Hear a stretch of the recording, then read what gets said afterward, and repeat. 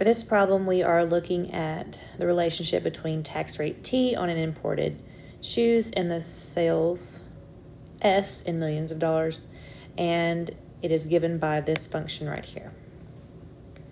Find the tax rate T that maximizes revenue for the government. Round your answer to three decimal places.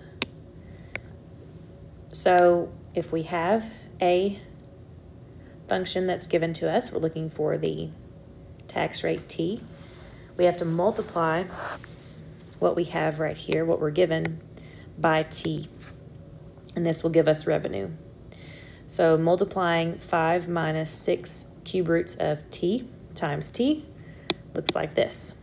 So I first change the cube root of T to T to 1 third power so that it's easier to work algebraically.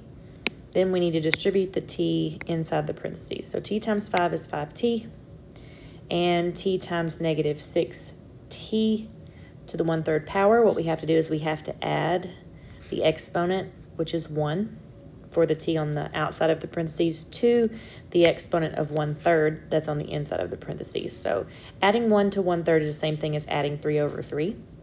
When we add fractions, we only add the numerator. 1 plus 3 is 4 and the denominator stays the same. So we have 5t minus 6t to the 4 thirds power.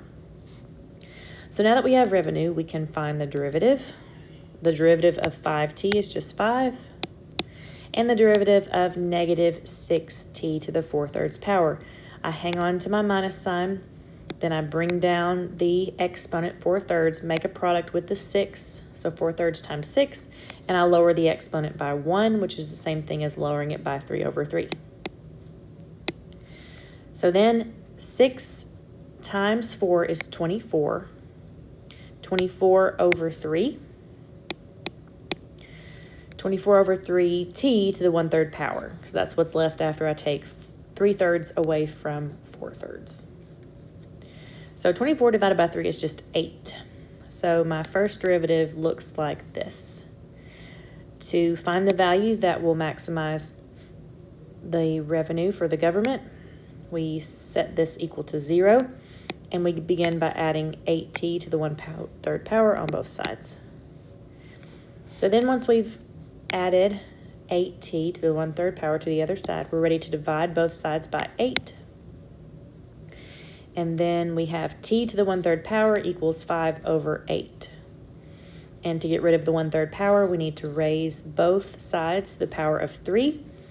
That will get my exponent of 1 on the left, which is what we want. We don't need the 1. t is now by itself. 5 divided by 8, all raised to the third power, is 2.44.